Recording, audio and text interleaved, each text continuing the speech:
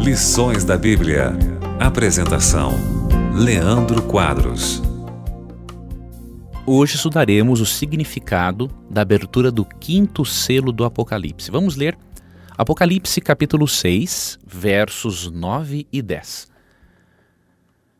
Quando o cordeiro abriu o quinto selo, vi sobre o altar almas de todos que haviam sido mortos por causa da palavra de Deus e por seu testemunho fiel. Clamavam ao Senhor em alta voz e diziam: Ó soberano Senhor, santo e verdadeiro, quanto tempo passará até que julgues os habitantes da terra e vingues nosso sangue? Então a cada um deles foi dada uma veste branca, e lhes foi dito que descansassem mais um pouco até que se completasse o número de seus irmãos, seus companheiros no serviço, que se juntariam a eles depois de serem mortos. Na abertura do quinto selo, percebemos que João vê pessoas mortas debaixo do altar. A palavra alma, como aparece aqui na Bíblia, ela se refere à pessoa completa e não a uma entidade imaterial que sobrevive fora do corpo. Nós precisamos interpretar a palavra alma dentro do significado bíblico, não dentro do significado grego. Na Bíblia, em Gênesis 2:7, percebemos que Deus formou ao ser humano do pó da terra soprou nas suas narinas o fôlego de vida, que é o espírito, e o homem se tornou alma vivente. De acordo com a Bíblia, o ser humano não tem alma, o ser humano é alma. Então, o significado de almas debaixo do altar não são entidades imateriais que saíram do corpo dos mártires e foram para o céu. Não, se refere aos próprios mártires porque alma na Bíblia é a pessoa completa como um todo. O propósito do quinto selo do Apocalipse, amigo 20, não é falar do que acontece com a pessoa depois da morte. Se o fosse, você e eu teríamos problemas em querer morarmos no céu. Porque aqui é dito que os mártires se encontram debaixo do altar a referência aqui ao altar do sacrifício. E de acordo com Êxodo 27, verso 1, qual era o tamanho do altar do sacrifício? O altar de sacrifício, que existia nos dias do antigo de Israel, era o altar onde sacrificava o cordeiro, a vítima, no lugar do pecador.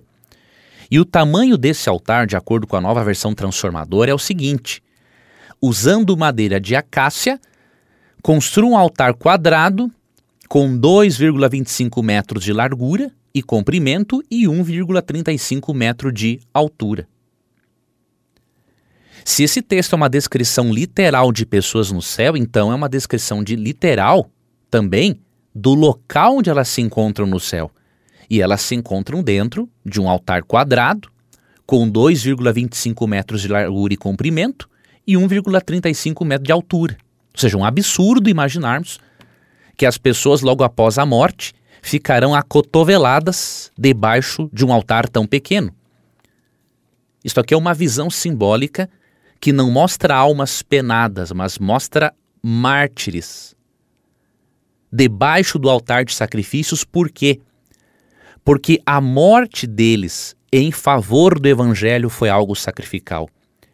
Eles preferiram a morte do que negar o Evangelho. E simbolicamente, essas pessoas são apresentadas aqui como clamando por justiça, por elas terem sido mortas por causa do Evangelho. E interessante que o próprio texto diz que elas não estão recebendo uma recompensa ou desfrutando de alegrias no céu. Porque essas pessoas, primeiramente, pedem vingança pela morte delas, e no verso 11 é dito que foi dada uma veste branca a cada uma delas, e foi dito que essas pessoas descansassem um pouco de tempo até que se completasse as pessoas que também seriam mártires como elas.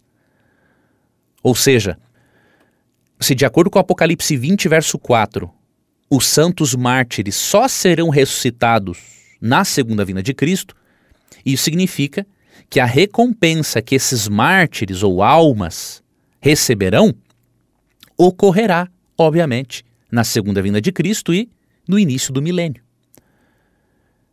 A cena do quinto selo, amigo vinte, se aplica historicamente ao período anterior e posterior à reforma, durante o qual milhões de pessoas foram martirizadas por decidirem serem fiéis a Deus. Então se refere a este período da história. Não é um texto que fala da imortalidade da alma.